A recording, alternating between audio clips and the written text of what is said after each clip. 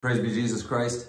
One of the greatest saints of all time is Saint Anthony of the Desert, also known as Saint Anthony the Great. He lived to the age of 105 and he spent his life in the Egyptian desert.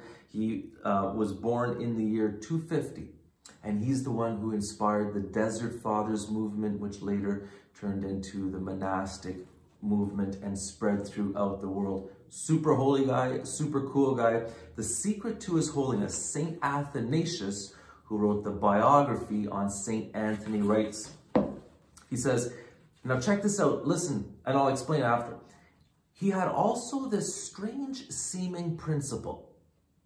He held that not by length of time is the way of virtue measured, and our progress therein, but by desire and strong resolve.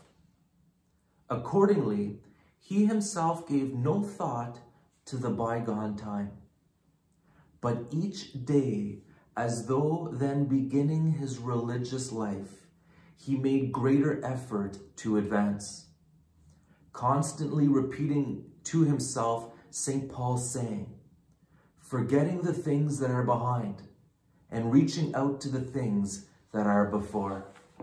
Isn't this interesting? For St. Anthony, he didn't care if you were in the religious life for 50 years. The question is, are you going for it? Are you wholehearted? Are you renewing your resolve each day? And this is this principle from St. Anthony. It's repeated a number of times. Another place, um, St. Athanasius quotes St. Anthony as saying, beginning over each day, let us increase our zeal. This is one of the important secrets of the spiritual life. You have to forget the past. You can't let the past drag you down. In Isaiah 43, it says, Remember not the events of the past.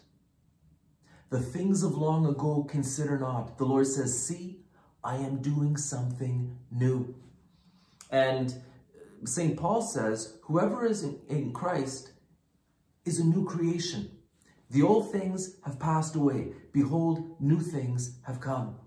And like St. Anthony remembered what St. Paul said, forgetting what lies behind and straining forward to what lies ahead, I press on toward the goal. And there's so many other passages in scripture that urge us to forget about the past. If you want to be holy every day, start new with zeal, with a holy desire to, to, to do God's will, to be holy, to be united to the Lord, and little by little, by the grace of God, you will grow to great holiness. Viva Cristo Rey and St. Anthony of the Desert, pray for us.